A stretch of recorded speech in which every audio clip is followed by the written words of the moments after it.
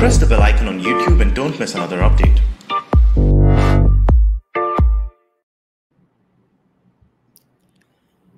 किसी भी विदेशी से आप यदि हिंदू धर्म या सनातन धर्म के बारे में बात करेंगे तो आपको ये पता चलेगा कि उसको, उसके बारे में केवल दो बातें पता है एक तो कास्ट और दूसरा सती आप देख सकते हैं कि किस तरह से इस देश के इमेज को, इस देश की प्रतिष्ठा को ध्वस्त किया गया है और हम जानते हैं, हमारे जो पंचमक्कार हैं, वही इसके उत्तरदायी है।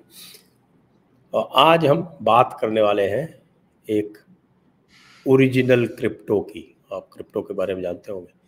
एक बिल्कुल पहला क्रिप्टो भारत का। उसके बारे में बात करेंगे। सती प्रथा के बारे में बात करेंगे। उसकी भ्रांतियाँ जो है, उनको हम यहाँ ध्वस्त करेंगे। हमारे साथ है अभिजीत चावड़ा, आपके जाने पहचाने, जो कई बार आ चुके हैं और he is mature historian but better than most professionals I can tell you that और also otherwise he is a practicing physicist आइए ज्वाइन कीजिए, हमको तुरंत सब्सक्राइब कीजिए और तुरंत लाइक बटन पे हाथ मारिए, साथ में जाके नीचे देखिए, यहाँ पर आपको स्क्रॉल में बहुत सारी इंफॉर्मेशन चल रही है, वो देखिए। इस पर आपको नंबर मिल जाएगा, अभी यहाँ पर लिखा हुआ है, जिससे आप हमें सपोर्ट कर सकते हैं डिस्क्रिप्शन में जाके सपोर्ट कर सकते हैं और वहाँ फॉलो भी कर सकते हैं।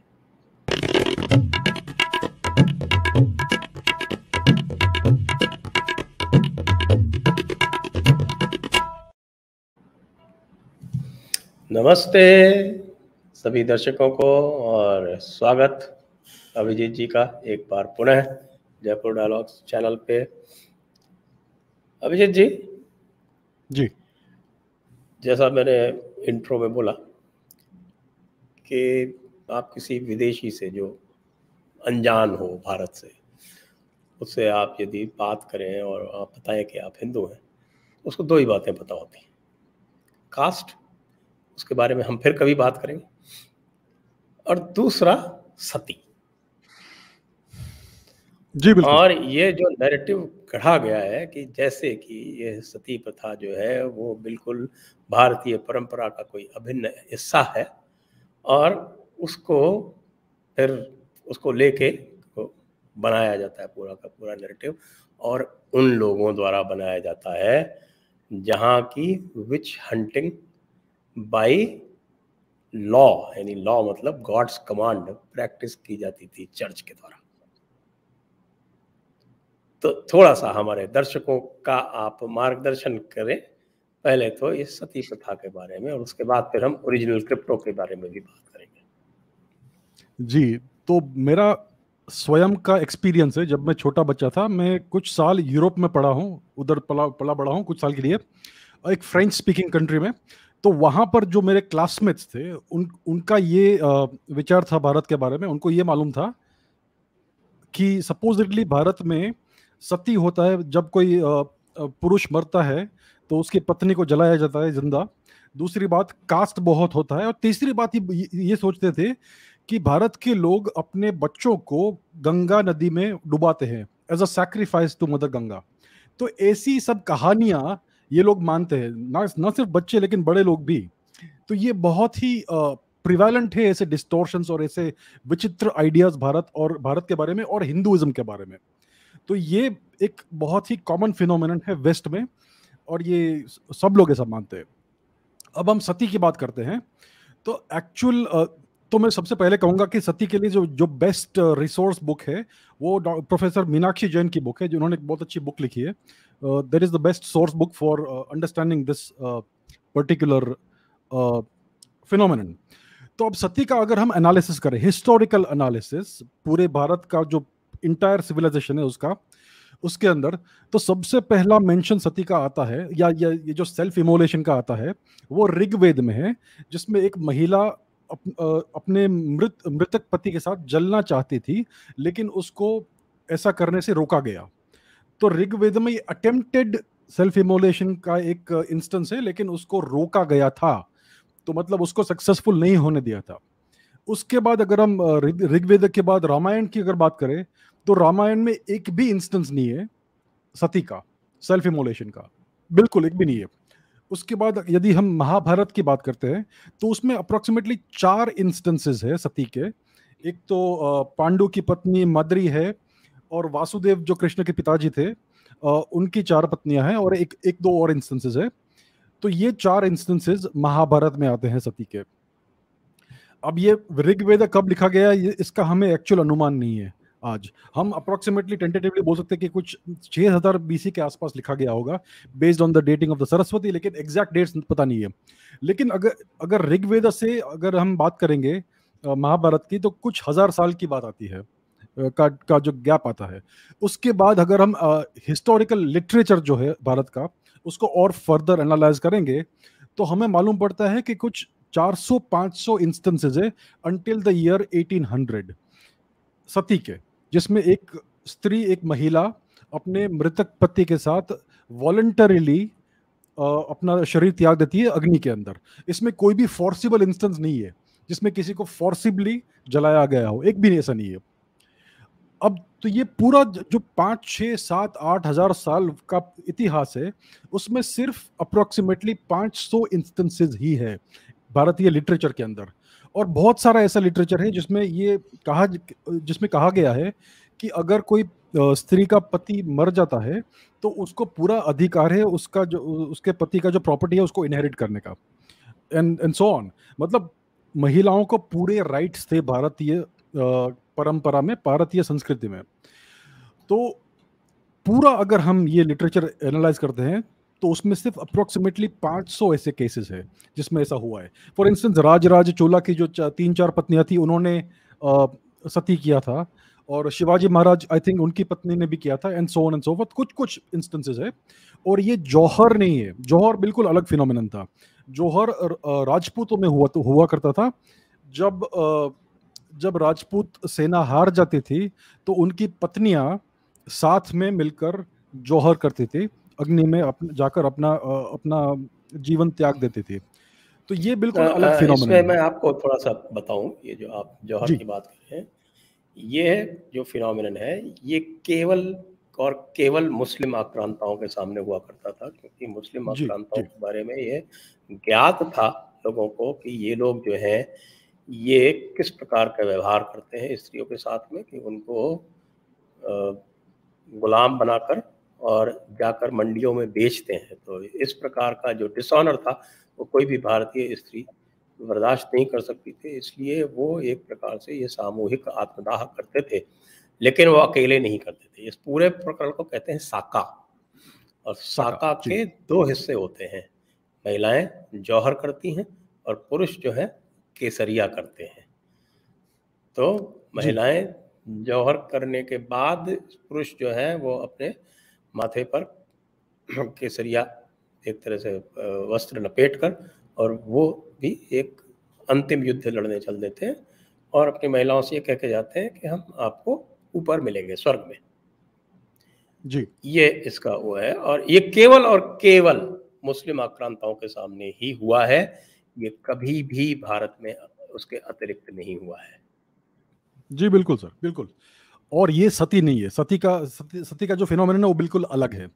तो अगर हम और जलते भी इसलिए थे जलते भी इसलिए थे वो क्योंकि यह अच्छी तरह से ज्ञात था और आज भी आप देख सकते हैं और बल्कि पूरे आपके उसमें आपको लिटरेचर में मिल जाएगा जो फ़िक्र की किताबें हैं और सब में आपको मिल जाएगा कि ये जो है ये मरी हुई औरतों के साथ भी बलात्कार कर लेते थे। तो वे मरने के बाद भी नहीं चाहती थी कि उनके शरीर का कोई दुरुपयोग हो। इसलिए आग में जल के मरती थी स्त्री। जी, बिल्कुल बिल्कुल। तो ये जौहर शाखा का अनफॉर्चुनेट इतिहास है। तो coming back to sati sati का बहुत कम इंस्टेंस हुआ है भारत में। अप्रोक्सीमेटली 500 इंस्टेंसेस है लिटरेचर में। Starting from Rigveda until around 1800 AD उसके बाद क्या होता है कि 1800 एडी के आसपास ईस्ट इंडिया कंपनी ने बंगाल में वंग प्रदेश में अपना राज्य स्थापित किया था। और वहाँ पर अचानक से क्या हुआ कि उन्होंने उनके रिकॉर्ड्स में अचानक बहुत सारे सती के इंस्टेंस आने लगे। वर्ष में दस हज़ार बीस हज़ार उन्होंने ऐसा रिकॉर्ड कर, करना शुरू कर दिया कि इतनी सारी महिलाएँ सती करती है भारत में। और ये बिल्कुल हिंदुइज्म की वजह से हो रहा है इट हैज़ बी स्टॉप्ड तो एसेंशियली इन्होंने बहुत फैब्रिकेट किए केसेस दो दो पॉसिबिलिटीज है। या तो इन्होंने इनके जो मिशनरीज है उन्होंने ये सारे केसेस फैब्रिकेट किए ताकि ब्रिटिश क्राउन उनको यहाँ पर अप्रूवल दे दे भारत में कि आप अपना जो सुपीरियर रिलीजन है क्रिश्चियनिटी उसको स्प्रेड करना शुरू कीजिए और ये जो बहुत ही बारबैरिक प्रिमिटिव रिलीजन है हिंदुइज्म उसको आप बंद कीजिए। तो दैट इज़ वन पॉसिबिलिटी कि उन्होंने इस चीज़ के लिए ये सारे मैन्युफैक्चर्ड uh, केसेस का इतना सारा ये केस लोड खड़ा कर दिया। दूसरा पॉसिबिलिटी ये है कि ब्रिटिश अत्याचार की वजह से महिलाओं को ये ये कार्य करना पड़ा। फॉर इंस्टेंस मैंने जैसा कहा कि भारतीय लॉ में हिंदू लॉ में ये था कि अगर कोई पुरुष मरता है तो उसकी पत्नी को उसकी सारी प्रॉपर्टी मिल जाती है एज इनहेरिटेंस लेकिन ब्रिटिश लॉ में ऐसा था कि कि किसी भी महिलाओं को किसी प्रॉप, कोई प्रॉपर्टी राइट्स नहीं होते थे। तो अगर उसका पति मर जाए तो प्रॉपर्टी किसी और को चली जाती थी महिला को नहीं चली जाती थी। मतलब शी बिकम्स डेस्टिट्यूट तो अगर और और ब्रिटिश ये ईस्ट इंडिया कंपनी ने ये जो ब्रिटिश लॉ है उसको इम्पोज किया था बंगाल के अंदर। तो इसकी वजह से जब कोई पुरुष मरता था तो उसकी पत्नी बिल्कुल लाचार हो जाती हो जाती थी और बे, बेबस हो जाती थी। तो दैट इज़ अ पॉसिबिलिटी कि ये ब्रिटिश क्रिश्चियन लॉ की वजह से ये सती के केसेस बढ़ गए होंगे क्योंकि उनके पास और कोई चारा नहीं होता था। तो ये दो पॉसिबिलिटीज है। या तो मिशनरीज ने ये मैन्युफैक्चर किए ये फेक केसेस या फिर उनके अत्याचार की वजह से इतने सारे केसेस हो गए। ये दो पॉसिबिलिटीज है, लेकिन दोनों का रूट कॉज है ब्रिटिश ना कि भारत। क्योंकि बंगाल में वर्ष 1200 एडी के आसपास तक एक भी इंस्टेंस नहीं हुआ है सती का। और पूरे इतिहास में, पूरे भारत वर्ष में सिर्फ़ 500 के आसपास केसेस थे बिफोर द ब्रिटिश केम तो क्लियरली ये सब जो इतने सारे ये जो केसेस ब्रिटिश गवर्नमेंट ने बना के रखे हैं, ये क्लियरली या तो ब्रिटिश मैनिपुलेशन है मैन्युफैक्चर है, या फिर उनके अत्याचार की वजह से ये सब ट्रिगर हुआ था। तो ये दो चीज़ें हैं सती के बारे में, लेकिन अगर हम फिर भी ब्रिटिश केसेस को अगर हम माने भी तो भी हमें सती का रेट मिलता है statistically around four per million four cases per million और अगर हम यूएस में सुइसाइड रेट देखें आज वुमेन का, महिलाओं का तो 6.8 पर लाख है which is way way higher अगर हम यूएस में फायर आर्म्स देखें तो it's 12 instances per lakh US में मर्डर रेट है five instances per lakh US में रेप रेट है 38 इंस्टेंसेस पर लाख और ये सब स्टेटिस्टिक्स बहुत ही स्क्यूड है। फॉर इंस्टेंस यूएस में one out of every six महिला is either an attempted rape victim और an actual rape victim UK में तो वन पर फाइव है one out of five and so on तो अगर हम स्टेटिस्टिकली देखेंगे तो भारत में बहुत कम केसेस थे, बहुत ही रेयर चीज़ थी, सती। और ये हमेशा वॉलंटरीली ही होता था। फॉर इंस्टेंस मैसूर में एक सती स्टोन मिला था 2010 के आसपास का। जिसमें एक महिला, जिसमें रिकॉर्ड है कि एक महिला ने सती का ये, सती किया था और उसमें पूरा अच्छे से रिकॉर्ड किया है कि उसके, उस महिला के माता पिता ने, उसके रिलेटिव्स ने, उसके मित्रों ने बहुत उस, उनको रिक्वेस्ट किया था कि आप प्लीज़ ऐसा कार्य मत कीजिए। लेकिन अंतिम वर्ड उनको दिया गया कि भाई आपका इवेंचुअली आपका ये डिसीज़न है और हम इसको स्वीकार करेंगे। तो हमेशा ये ऐसा होता था कि उसको अगर कोई ये करना चाहता था तो सब उन उनको कन्विंस करने को ट्राई करते थे कि आप प्लीज़ ऐसा मत कीजिए। और बहुत ही रेयर चीज़ थी ये। तो ये क्लियरली सब मैन्युफैक्चर्ड केसेस है। मोस्ट uh, लाइकली जो बंगाल में टेन थाउज़ेंड पर ईयर के जो स्टेटिस्टिक्स है क्लियरली मिशनरी मैन्युफैक्चर का ये ये एक बहुत अच्छा उदाहरण है। क्योंकि भारत में जब मिशनरीज आए थे ईस्ट इंडिया कंपनी के साथ, सबसे पहले बात तो ये है कि ईस्ट इंडिया कंपनी सिर्फ़ कमर्शियल कंपनी थी। उनको क्रिश्चियनिटी से कोई ताल्लुक नहीं था, उनको सिर्फ़ भारत का वेल्थ लूटना था। लेकिन उनके साथ कुछ कुछ मिशनरीज आ गए और उनको अभी कन्वर्जन का काम करना था और ईस्ट इंडिया कंपनी इसके विरुद्ध में थी, इसके खिलाफ थी। तो ये मिशनरीज ने फिर ये ये ये केसेस मैन्युफैक्चर करना शुरू कर दिया। कि भाई ये हिंदू लोग इतने बुरे हैं, अपनी, उनकी महिला, अपनी महिलाओं को जला देते हैं and so on so forth और ये बहुत पुरानी मिशनरी स्ट्रेटेजी है, शुरू। शुरुआत से ही ये जो पेगन कल्चर्स थे यूरोप के, उनको ऐसे डीमोनाइज करते थे कि ये महिलाओं को जलाते हैं, ये बच्चों का सेक्रीफाइस करते हैं and so and so forth तो ये अपने आप को सुपीरियर पोर्ट्रे करते थे और जो नॉन क्रिश्चियंस थे, उनको इन्फीरियर और बारबैरिक और प्रिमिटिव पोर्ट्रे करते थे। ये बहुत पुराना उनका प्ले बुक है, बहुत पुराना स्ट्रेटेजी है। तो इसका इस्तेमाल, उसका उपयोग इन्होंने भारत में किया। उन्होंने एक्चुअली ये भी कोशिश की थी कि ऐसा पोर्ट्रे करने की कि भारत में चाइल्ड सेक्रीफाइस भी होता है। और जैसे मैंने कहा, जब मैं बच्चा बच्चा था तो मैंने इसका इंस्टेंट देखा था कि वेस्ट में यूरोप में कुछ कुछ लोग ऐसा मानते हैं कि भारत में चाइल्ड सेक्रीफाइस भी होते हैं। लेकिन ये चाइल्ड सेक्रीफाइस के तो उनको कोई भी इंस्टेंस नहीं मिले तो फिर उन्होंने ये सती का नया षड्यंत्र किया, नया स्ट्रेटेजी उपयोग किया और एंड दैट वाज सक्सेसफुल तो उसके बाद क्या हुआ कि उन्होंने ब्रिटिश पार्लियामेंट में और ब्रिटिश मीडिया में एक्सेट्रा बहुत ये अप्रोर किया कि भारत में इतना बुरा प्रैक्टिस है। ना ना सिर्फ़ कास्टिज्म है, लेकिन उनकी महिलाओं को भी को भी जलाते हैं। और फिर ब्रिटिश पार्लियामेंट में ये डिस्कस हुआ और इवेंचुअली यहाँ का जो वाइस रॉय था भारत में विलियम बेंटिक नाम नाम का एक इंडिविजुअल था, उस, उसने ये लॉ पास किया। कि सती को बैन किया उसने। और फिर अचानक से सती बंद हो गया भारत में मैजिकली तो ये बात है। और और अगर हम देखेंगे दुनिया भर में, अगर हम दुनिया भर में देखते हैं स्पेशली इंडो यूरोपियन कल्चर्स में तो सेल्फ इमोलेशन एक एक रीजनेबली कॉमन प्रैक्टिस है। ना सिर्फ़ महिलाओं में, लेकिन पुरुषों में भी। For instance for instance Vietnam में एक मंक थे, एक एक बौद्ध भिक्षु थे, महायान बौद्ध बौद्ध भिक्षु थे। वियतनाम ने जिनका जिन, जिनका नाम था थिच क्वांग दुक जो 1963 में अपने आप को सेल्फ इमोलेट किया पब्लिक में to protest against the Vietnamese government pro Christian anti धार्मिक पॉलिसीज़ तो ये एक प्रोटेस्ट का एक मीन्स है। और ऐसे बहुत सारे अलग अलग इंस्टेंसेज है। फॉर इंस्टेंस जो एक चाइनीज़ स्कॉलर थे हुशी बहुत ही फ़ेमस चाइनीज़ स्कॉलर थे हुशी उन्होंने बहुत सारी इंग्लिश राइटिंग्स किए। तो उसके सेकंड वॉल्यूम में उन्होंने उन्होंने लिखा है कि मिडीवल चाइना में जो बौद्ध भिक्षु थे, वो अपने आप को, उन्होंने लिखा था कि they gladly burn themselves to death as offerings to the deity of Mahayana Buddhism तो ये बौद्ध भिक्षुओं में भी बहुत कॉमन था। और. अगर हम महिलाओं के सैक्रिफाइस की बात करेंगे तो आपको बहुत सारे चाइनीज़ इंपीरियल टूम्स मिलेंगे जिसमें एम्पर के साथ उनकी सारी पत्नियों को दफना दिया गया है। आपको ये इजिप्ट में भी मिलेगा। ये जो वाइकिंग्स थे उन उनमें भी ये प्रथा थी कि जब कोई राजा या वॉरियर मरता है तो उसको जलाते थे। उनका अंतिम संस्कार हिंदू रिचुअल से करते थे मोरलेस और उसके साथ उनकी पत्नियों को भी जलाया जाता था। ज़िंदा। तो ये सारे जो रिचुअल्स है और ये सब सब प्रैक्टिस है, बहुत जगह पर है। सिर्फ़ भारत में नहीं है।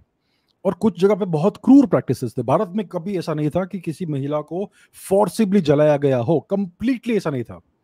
लेकिन इन लोगों ने भारत ये जो ये जो सती प्रथा है, उसको इस तरह से पोर्ट्रे किया है कि हम अपनी महिलाओं को फोर्सिबली जलाते हैं। अब ये मुझे बताइए कि जो ब्रिटिश लोग थे, उन्होंने भारत में हर वर्ष आर्टिफिशियल फैमिन्स किए। बंगाल में कितने बुरे बुरे फैमिन्स हुए। Five million deaths ten million deaths in in one year अगर हम ब्रिटिश हिस्ट्री देखेंगे भारत में ब्रिटिश ऑक्यूपेशन तो total at least one hundred million भारतीय इंडिविजुअल्स मरे हैं आर्टिफिशियल फैमिन्स में। इसमें फिफ्टी परसेंट तो, तो पुरुष होंगे। तो बाकी पचास मिलियन महिलाएँ सती क्यों नहीं हुई? अगर उनके पुरुष मर गए। तो ये सारे जो इनकन्सिस्टेंसीज है लॉजिकल इनकन्सिस्टेंसीज उनको कभी ये एक्सप्लेन नहीं कर पाएँगे। तो बेसिक बात ये है कि सती प्रथा एक इनक्रेडिबली एक्सट्रीमली रेयर प्रथा थी और ये कभी भी फोर्सिबल नहीं थी। It was completely purely one hundred percent voluntary that's it और और भारत के आई थिंक भारत में 1947 के बाद अप्रोक्सीमेटली 40 केसेस होने का कुछ रिपोर्ट में देखा है। तो अगर उसको भी अगर हम मानते हैं 40 केस हुए सिंस 1947 और भारत में कुछ 500 मिलियन लोग उसमें मरे हैं उस उस टाइम पीरियड में तो भी अगर हम 40 देखेंगे तो इट इज़ अप्रोक्सीमेटली वन पर मिलियन तो ये तो बिल्कुल इनसिग्निफिकेंट स्ट्राइक रेट है, अगर स्ट्राइक रेट की हम बात करें तो it's very clear if we examine the facts, actual hard facts, कि सती इनक्रेडिबली रेयर फिनोमिनन था और ये कभी भी कोर्सिव नहीं था कभी भी फोर्सिबल नहीं था। वैसे अगर आज के अमेरिकन वोक कल्चर की बात करें तो तो माई बॉडी माई राइट का प्रिंसिपल लागू हो जाना चाहिए। जी बिल्कुल। If uh, burqa can be a choice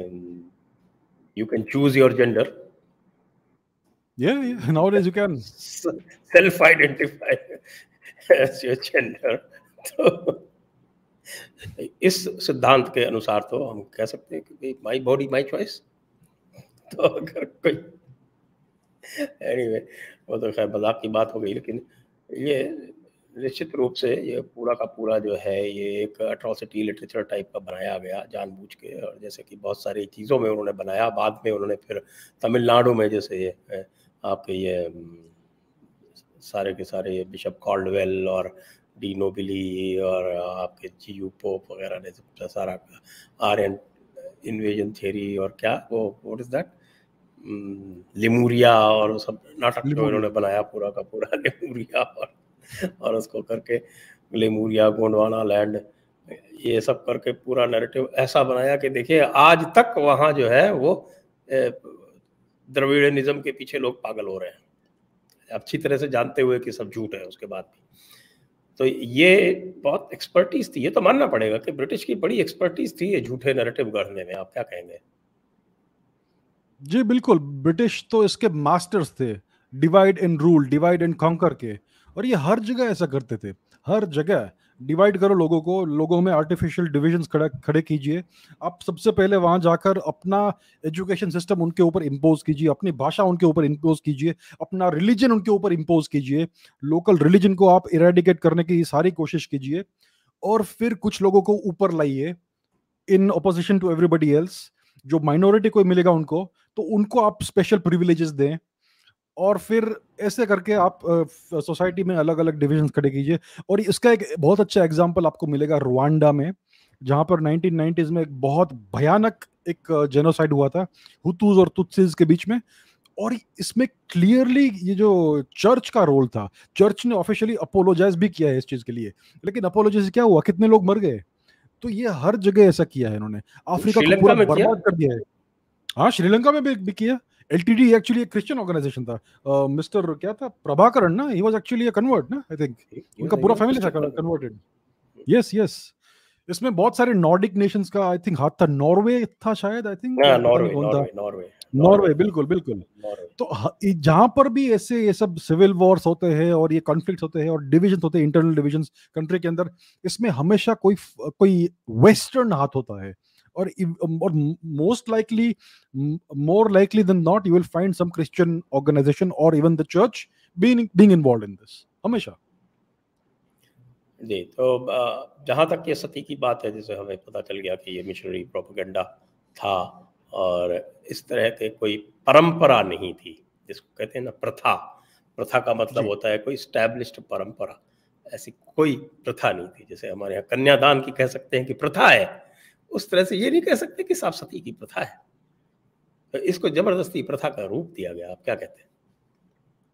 जी, बिल्कुल बिल्कुल। ये सब ये सब जो अब जैसे कहते हैं एट्रोसिटी लिटरेचर उसको मैन्युफैक्चर किया गया और ये बार बार बार बार ये सब झूठ जो है, उसको रिपीट किया गया हज़ारों बार, लाखों बार और फिर धीरे धीरे लोग ये मानने लगे। और आज तो हमारे ये टेक्स्ट बुक्स में भी लिखा जाता है। जब हम छोटे बच्चे थे, तब हमारे टेक्स्ट बुक में लिखा जाता था। हमें पढ़ाया जाता था कि ये सती बहुत ही बुरी परंपरा थी भारत में और ये महान श्री लॉर्ड विलियम बेंटिक ने आकर हमें हमारा उद्धार किया by banning the practice of sati. तो ये सारे जो झूठ है, सारे के सारे बिल्कुल झूठ है बिना कोई डेटा के सपोर्ट के इनको ऐसे प्रोपागेट किया गया है for decades generation after generation after generation I think आज के बच्चों, आज के बच्चों को भी ये पढ़ाया जाता है आई थिंक कि सती बहुत बुरी प्रथा थी भारत में हमारे हम इतने बैकवर्ड थे प्रिमेटिव थे and so on so forth और ये महान वाइट मास्टर्स ने आकर हमें, हमारा उद्धार किया और हमें इस भयानक परंपरा से बचाया। और इसका इसका सबलिमिनल टेक्स्ट क्या है? मैसेजिंग क्या है? कि हिंदुइज्म बहुत ही भयानक और बारबैरिक और प्रिमिटिव बैकवर्ड मिसोजिनिस्टिक पेट्रियाकल परंपरा है कल्चरल रिलीजन है जिसको डिस्ट्रॉय करना चाहिए और हमें थोड़ा ऊपर उठना चाहिए इस चीज़ से। तो ये मैसेजिंग बार बार बार बार throughout the education system अपने हमारे बच्चों को पढ़ाया जाता है जाता है। हमारे मीडिया में भी ये सब मोरलेस प्रिवालेंट है। हमारे गवर्नेंस ऑर्गन ऑर्गन्स में भी ये सारी आ, ये सारे नेरेटिव काफ़ी काफ़ी स्ट्रांगली एम्बेडेड है तो that is the thing we are all facing today in this country India is the most Hindu phobic country in the world and this is one example Quite right. India is the most Hindu-phobic country in the world. You're quite right. अच्छा इसमें एक अंग्रेज़ों ने हमारे जो हम्म, local लोग थे local elites जिनको कह सकते हैं, उनका भी बड़ा उपयोग किया जैसे कि राजा राम मोहन रॉय की हम बात करते हैं तो राजा राम मोहन रॉय जो थे जानते हैं कि उन्होंने दो दो चीज़ों में अंग्रेज़ों का बहुत बड़ा साथ दिया। एक तो हमारा एजुकेशन सिस्टम जिसकी वजह से आज हम आज भी सर पीट रहे हैं और दूसरा ये तथाकथित सती प्रथा। जी। तो आप राजा राम मोहन रॉय के बारे में बहुत सारी बातें कही जाती हैं। आपके पास क्या इंफॉर्मेशन है? जी, अगर किसी भी इंडिविजुअल किसी भी व्यक्ति के बारे में अगर हमें प्रॉपरली एनालाइज करना है तो हमें उसी व्यक्ति के शब्द देखने चाहिए। उसने क्या स्वयं कहा, उसने स्वयं क्या क्या लिखा। अगर हम उसका एनालिसिस करेंगे तो हमें बिल्कुल साफ़ साफ़ साफ़ समझ जाएगा कि इस इस व्यक्ति का क्या आ, का क्या आइडियोलॉजी था क्या उसका एजेंडा था और उसका एक्चुअल कैरेक्टर कैसा था। तो let's take a look at Raja Ram Mohan Roy उनके जितने भी राइटिंग्स है मोस्टली सारे इंग्लिश में है तो मैं आपको एक दो कोट बोलता हूँ उसके। तो सबसे पहले राम मोहन रॉय ने कहा कि उसने बेसिकली कहा कि conquest is very rarely an evil when the conquering people are more civilized than the conquered people, in reference to the british colonization of india.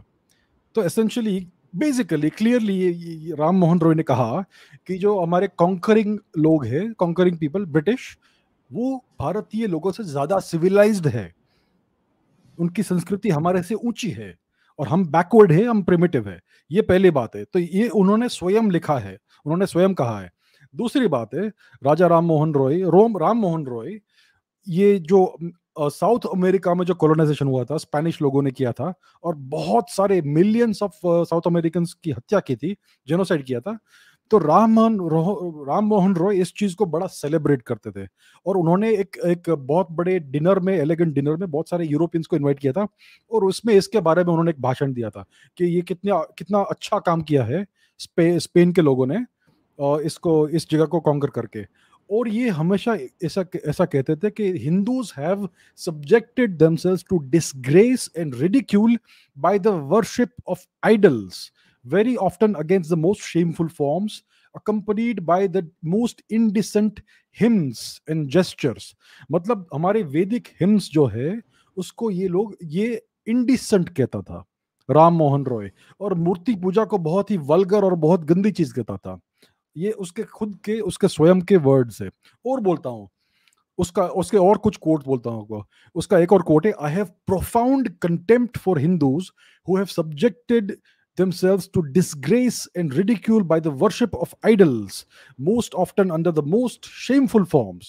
उन्होंने फिर ये कहा था कि I envision the union of England and India as two free and Christian countries isn't that interesting और उसने उसने ये भी कहा था कि the Sanskrit system of education would be best calculated to keep India in darkness so essentially he was anti Sanskrit, he was anti Vedas, he was anti Murti Puja, and he was anti Hinduism, and he envisaged the union of England and India as two Christian countries. अभी और क्या कहना है बोलिए उसके बाद क्या कहने को रह गया सिंपल ये साफ़ हो गया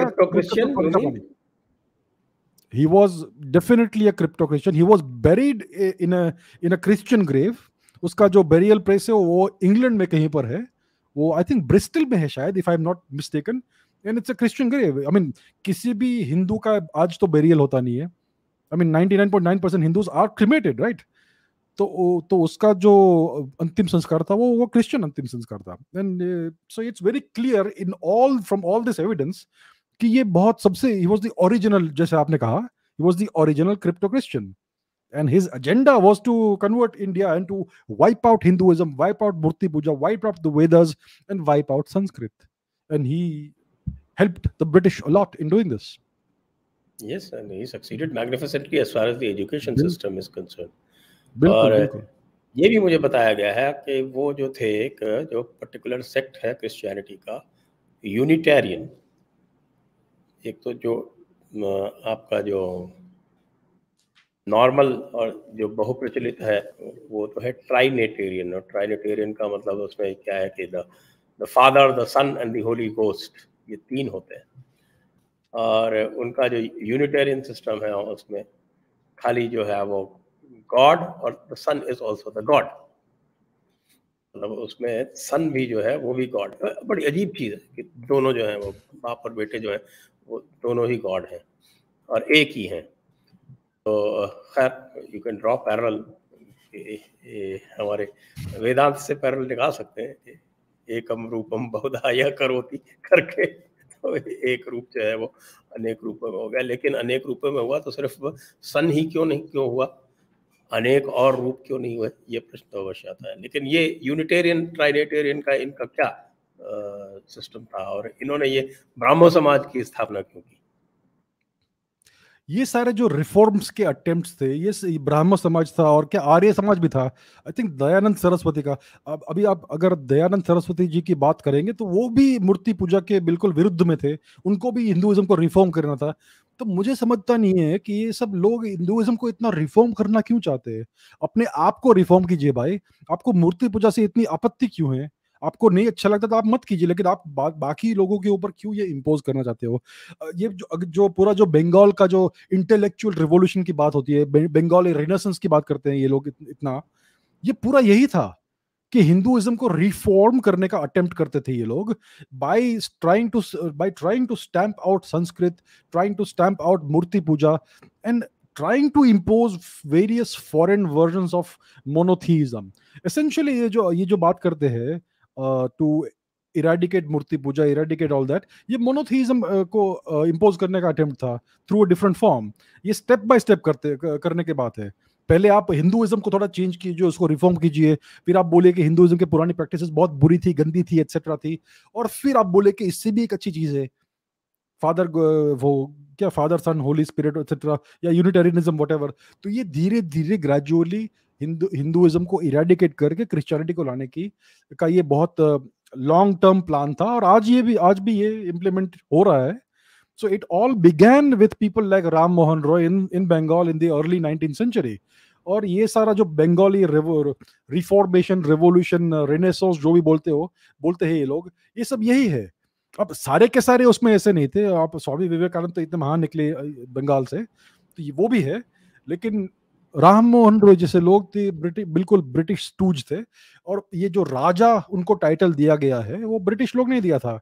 क्योंकि उन्होंने, क्योंकि राम मोहन रॉय ने ब्रिटिश लोगों के, ब्रिटेन की इतनी लंबी और इतनी अच्छी सर्विस की तो उसके उसके लिए उसको ये टाइटल दिया, राजा राजा राम मोहन रॉय, ना सिर्फ़ ना सिर्फ़ केवल Ram Mohan Roy. So that's what it is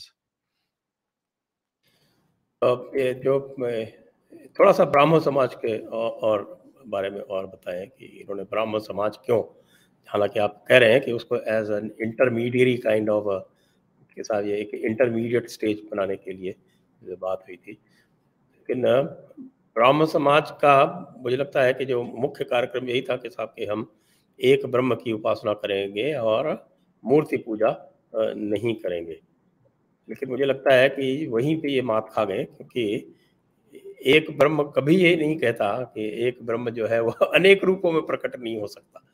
ये मूर्ति पूजा के जितने भी आलोचक हैं वो यही मात खा जाते हैं, क्योंकि वो जो है, एक ब्रह्म जो हाईएस्ट कॉन्शियसनेस या चित्त के स्तर पर विद्यमान है, उसको ये जब इंटेलेक्ट के लेवल पे भी लाते हैं तो भी कहते हैं ये एक है।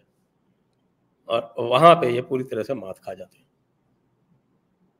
जी, ब्रह्म समाज जैसे आपने कहा कि it was a attempt to impose monotheism अगर हिंदुइज्म को रिफॉर्म करना है तो पॉलीथीज्म उसका जो फॉर्म है, उसका जो जितने भी वो है, उसको आप हटा दीजिए और सिर्फ़ एक एक क्रिएटर को आप पूजिए। फॉर इंस्टेंस ब्रह्मा तो इसके लिए Brahmo Samaj so only one God and no idol worship ये उनका पूरा एजेंडा था और ये ब्रह्म समाज का एसेंशियल सिंपल ऑब्जेक्टिव था। कि उनके जितने भी अडियरेंस है, वो अभी मूर्ति पूजा नहीं करेंगे और सिर्फ़ एक भगवान की उपासना करेंगे। और इससे हम शुरू करेंगे ये पूरा program to impose monotheism in India and eventually we can once एक बार एक कोई व्यक्ति इस इस बात को अगर मान जाता है कि मैं मूर्ति पूजा नहीं करूँगा और मैं सिर्फ़ एक ईश्वर की उपासना करूँगा तो फिर आप इवेंचुअली उस ईश्वर को का रूप बदल सकते हैं और इंस्टेड ऑफ़ ब्रह्मा उसको जीसस क्राइस्ट या whatever Abrahamic God Eloah whatever उसको आप कन्वर्ट कर सकते हैं। So it becomes much easier if you first make the person undergo this big conversion तो ब्रह्मो समाज का यही था इवेंचुअल ऑब्जेक्टिव और इसके बहुत सारे सपोर्टिंग एविडेंस है। फॉर इंस्टेंस राम मोहन रॉय ने बहुत सारे इंग्लिश मिशनरीज के साथ अपना एसोसिएशन किया था। उनके, उनको इंट्रोड्यूस भी किया था बहुत सारे लोगों से और उनका जो प्रवच, उनके जो प्रवचन होते थे, उसके लिए भी उन्होंने बहुत सारा फैसिलिटेशन किया था and so on it's it's all on record तो ये तो बहुत क्लियर है उनके कि उनका एक्चुअल एजेंडा और ऑब्जेक्टिव क्या था। अगर आप हिंदुइज्म को रिफॉर्म करना चाहते हो और अगर आप ब्रह्म समाज बनाकर सिर्फ़ ब्रह्म की पूजा करवाना चाहते हो तो आपको क्रिश्चियन मिशनरीज के साथ इतना एसोसिएशन करने की ज़रूरत क्या है? क्या क्या क्या क्या कारण है इसका? तो ये अगर आप पूरा उनका ओवरऑल एक्टिविटीज़ का रिकॉर्ड देखेंगे तो इट्स वेरी क्लियर कि उनका एक्चुअल एजेंडा प्रोजलिटाइजिंग और इवेंजलिकल एजेंडा था।